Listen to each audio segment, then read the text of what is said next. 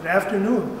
Here we are at the Wien Museum next to a model, an impressive model of the city of Vienna.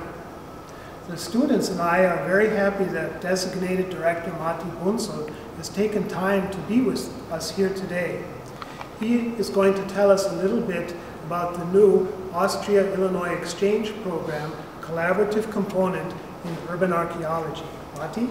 Well, thanks so much for visiting. Um, it's great to talk to you guys back uh, at the U of I. I was uh, a professor at the at University of Illinois uh, at Urbana-Champaign for 17 years until um, a couple of months ago when I returned to my native city of Vienna to become director of the Vienna Museum.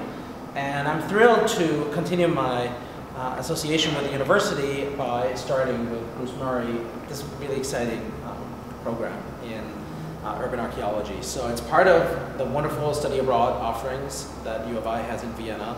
And it allows uh, U of I students to come to this great city to work with the Municipal Archaeology Division, which is part of uh, our museum here, uh, on basically digging up this amazing city. Uh, it's going to be an entire semester worth of uh, anthropology credit, and it's going to be an incredible time a lot of adventure, fantastic food, and I hope I'll see lots of you here at the museum and in the various places in the city where we're going to be digging for Vienna's, Austria's, and Europe's past.